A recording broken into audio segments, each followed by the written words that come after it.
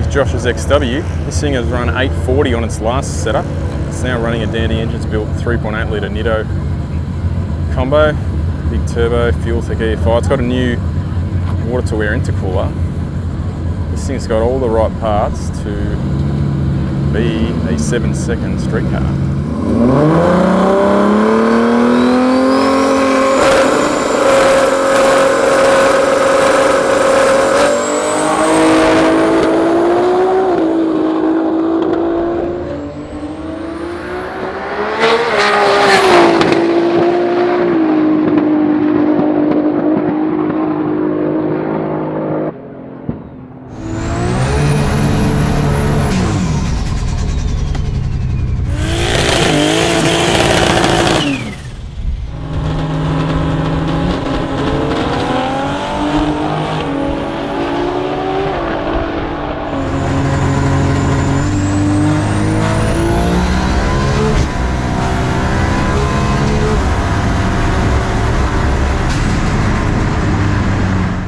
We're just here at the Ford Nationals. Now I'm just recording Josh's XW. He's just been doing rounds. He just won that round and he went a backing off 834 at about 153 miles an hour. And we just ran the Dragy, one of the Dragy timers in there just to give you guys a bit of a, I don't know, an insight into sort of how quick a- car like that is in what you'd call um, So how, how fast does it compare to a stage one or two golf loop? Actually, it, it's more puts 0 to 100 times or only something. So, for example, on that run then, the Dragy recorded 0 to 100 kilometres an hour in 1.93 seconds. 0 to 200 kilometres an hour, 4.65 seconds. And on that run, the Dragy recorded an 8.36 at 153. So, And that 0 to 200 is about what, 123 miles per hour? 124 American miles an hour. Yeah. 0 to 124 miles an hour was 4.65 seconds.